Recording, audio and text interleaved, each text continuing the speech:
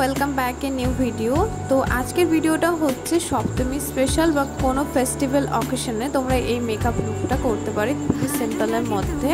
তো প্রথমেই আমি একটা টোনার ইউজ করছি, আর টোনারটা হচ্ছে বায়োটিকের কিউকাম্বার টোনার এই টোনারটা যাদের অয়েলি স্কিন আছে, তারা ইউজ করতে পারো বা নর্মাল স্কিন যারা আছে, তারাও ইউজ করতে পারো। বাজেটের মধ্যে ভালো একটা টোনার। আর এই টোনারটা যেহেতু অ্যালকোহল ফ্রি তো স্কিনে কোনো প্রবলেম হবে না। আর আজকের ভিডিওতেও সব কিছু affordable and budget fully product হবে টোনিংয়ের পরে পার্ট হচ্ছে ময়শ্চারাইজিং তো আজকে ময়শ্চারাইজারের জন্য আমি একটা সিরাম ইউজ করছি। আর এই সিরামটা হচ্ছে পার্পেলের অয়েল ফ্রি একটা সিরাম আর খুবই লাইট ওয়েট একদম নন স্টিকি তো অ্যাপ্লিকেশনের জন্য বেশ স্কিনে একদম রানি একটা ফর্মে থাকে। তো যে কোনো কীভাবে এটা ইউজ করা যেতে পারে। আর যদি কেউ মনে করে ফাউন্ডেশনের সাথে ইউজ করবে, তাও করতে পারবে।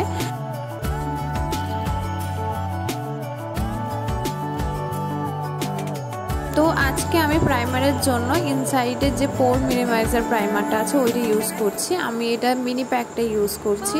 আর এটা হলো একটা ম্যাট প্রাইমার তো আমার একটু অয়েলি প্রবলেম আছে, তাই জন্য আমি ম্যাট প্রাইমারটা ইউজ করছি। এবার তোমরা যদি মনে করো সিলিকন বেসের প্রাইমার সেটাও ইউজ করতে পারো, কোনো প্রবলেম নেই। প্রাইমার অ্যাপ্লাই করা হয়ে যাওয়ার পরে আমাদের স্কিনে বা আমাদের পুরো ফেসটাতে হালকা একটু স্প্রেড করে বা ছড়িয়ে দিতে হবে বা ব্লেন্ড করা মতন হালকা একটু করে দিলেও আজকে স্কিন কারেকশন করা, ফাউন্ডেশন, কনসিলার সবই আমি একটা প্যালেট থেকে ইউজ করব। আর এই প্যালেটটা হচ্ছে ইনসাইডের এইচডি প্যালেট তো আমি যে প্যালেটটা ইউজ করছি, এই প্যালেটটার শেড নাম্বার হচ্ছে ফেয়ার তো এই প্যালেটের মধ্যে সব থেকে যে শেডটা একদমই ডার্কেস্ট আছে চকলেট কালারের মধ্যে। সেই শেডটা নিয়ে আমি আমার আন্ডার আই এরিয়াতে ইউজ করব। আর আমার যেই জায়গাতে ব্ল্যাক স্পট আর একটুখানি দাগের ভাব আছে, সেই জায়গাগুলোতে আমি ইউজ করব। আর আজকে আমি কোনো বিউটি ব্লেন্ডার ইউজ করব না। এই ব্রাশটা দিয়েই আমি পুরোপুরি প্রোডাক্ট ব্লেন্ড করে নেব একবারে। ওই প্যালেটের মধ্যেই একটা ফেয়ার টু মিডিয়াম শেড আছে, তো ওই শেডটাই আজকে আমি আমার ফাউন্ডেশনের জন্য ইউজ করব। আর এই প্যালেটে যতগুলো শেড আছে আর যে প্রোডাক্টটা আছে, এটা ক্রিম বেজে আছে।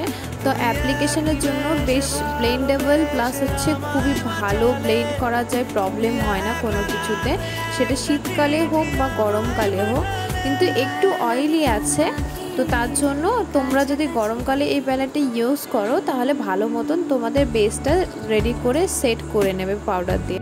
তো প্রোডাক্টটাকে ব্লেন্ড করার জন্য আমি একটা বিউটি ব্লেন্ডার ইউজ করছি, আর এই বিউটি ব্লেন্ডারটা একটু ভেজা আছে, তো সেই জন্য ভালো মতো ব্লেন্ড করা যাবে। আর ইনসাইডের এই যে প্যালেটটা আমি ইউজ করছি, এই প্যালেটটা খুবই ভালো একটা এইচডি ফিনিশ দেয়। তো তোমরা এটা দিয়ে যে কোনো ব্রাইডাল লুকও করতে পারো। তো কনসিলারের জন্য ওই প্যালেটের মধ্যে সব থেকে ফেয়ার একটা শেড আছে। সেই শেডটাই আমি আমার হাইলাইটের যে জোনগুলো আছে, সেই জায়গাতে ইউজ করব। আর এই মেকআপ যে লুকটা আমি মানে ক্রিয়েট করছি, সেটা কিন্তু ডে টাইমও করা যেতে পারে নাইটেও করা যেতে পারে।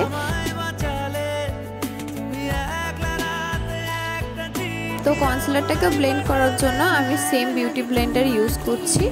আর আমি যে বিউটি ব্লেন্ডারটি ইউজ করছি, এটা একটা আই ম্যাজিকের বিউটি ব্লেন্ডার আজকে আমি ব্লাশের জন্য সুইচ বিউটির এই লিপস্টিক প্যালেটটা ইউজ করছি, আর এর মধ্যে একটা পিঙ্ক কালারের একদম নিউড শেডের মধ্যে পিঙ্ক আছে, সেই শেডটাই আমি ইউজ করব। আর আমি আজকে কোনো পাউডার ব্লাশ ইউজ করব না, সেই জন্য ক্রিম বেজের মধ্যে আমি লিপস্টিক প্যালেট থেকে এই শেডটা নিয়ে ইউজ করছি। আর এই যে লিপস্টিক প্যালেটটা আছে এটাও খুবই ভালো। তো আমি প্রথমে ব্রাশ দিয়ে ভালো করে ব্লেন্ড করে নিচ্ছি।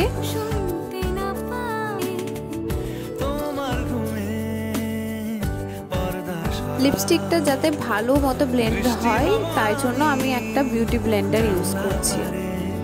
তো এবার বেসটাকে সেট করা হবে। আর বেসটা সেট করার জন্য একটা লুজ পাউডার আমি ইউজ করছি। আর এই লুজ পাউডারটা হচ্ছে মালিওর মাস্টার ফিক্স একটা লুজ পাউডার আমি আমার আন্ডার আই এরিয়া আর যে যে জায়গাগুলোতে আমার ক্রিজ হয় আর খুব বেশি ঘাম হয়, সেই জায়গাগুলোতে আমি ভালো করে এই পাউডারটা দিয়ে সেট করে নেব।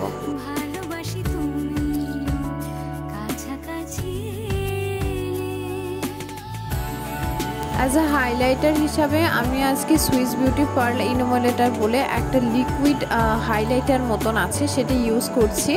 আজকে আমি কোনো পাউডার হাইলাইটার ইউজ করব না বা ক্রিম হাইলাইটার ইউজ করব না। তাই জন্য আমি একটা জাস্ট লিকুইড একটা হালকা শাইন দেওয়ার জন্য একটা ইলোমিনেটার ইউজ করেছি।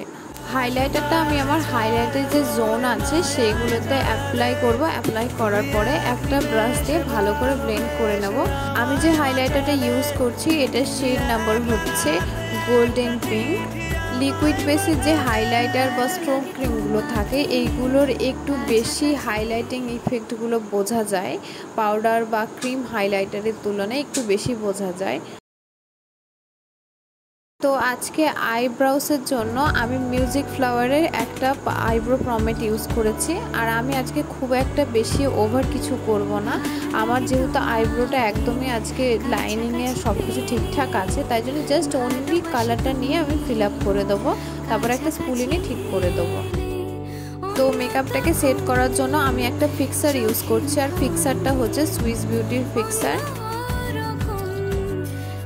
তো এখন আই মেকআপ করব আর আই মেকআপ একদমই সফটের মধ্যে থাকবে। কোনো বেশি কিছু সামন এক্সট্রা করতে যাব না। জাস্ট নর্মালি দু তিনটে কালার নিয়ে আমি প্রথমেই আই আই মেকআপের জন্য প্রথমে ট্রানজেকশন কালার হিসাবে আমি একটা ব্রাউন কালার ইউজ করেছি। দুটো ব্রাউনের মধ্যে, হালকা ব্রাউন আর একটু ডার্ক ব্রাউনের মধ্যে ইউজ করেছি। তারপরে আর একটা সেকেন্ড কালার হিসাব অনুযায়ী আমি একটু বেশি ডার্ক ব্রাউন ইউজ করেছি।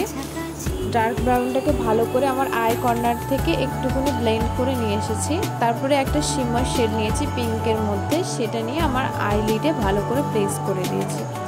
তারপরে আমি একটা আইল্যাশ কালার ইউজ করেছি আমার আইল্যাশটাকে একটু কার্লি ইফেক্ট দেওয়ার জন্য। আর আজকে আমি যেহেতু কোনো ফলস ল্যাশেস ইউজ করব না, তাই জন্য আমি এই কালারটা ইউজ করেছি। আর মাস্কারার জন্য আমি সুইস বিউটির একটা মাস্কারা ইউজ করেছি।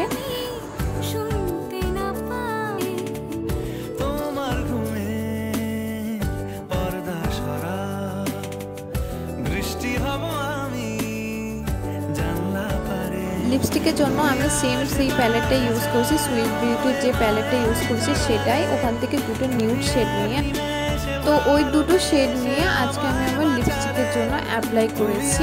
আমি আমার চ্যানেলে অলওয়েজই বাজেট ফ্রেন্ডলি আর অ্যাফোর্ডেবল প্রোডাক্ট ইউজ করার চেষ্টা করি। কারণ সবাই এক গাদা টাকা দিয়ে বা অনেক অনেক টাকা দিয়ে সবাই অ্যাফোর্ড করতে পারে না তার জন্যই। তো আজকে আমার ফাইনাল লুক এইটা। তোমাদের কেমন লেগেছে? ভিডিওটা কি আদৌ হেল্পফুল হয়েছে কি হয়নি? অবশ্যই আমাকে লাইক কমেন্ট করে বুঝিও। আর আজকের মতো ভিডিওটা এতটুকুনি। আরও আবারও দেখা হবে কোনো একটা নতুন ভিডিওতে। ততক্ষণ ভালো থেকে। Bye bye tata.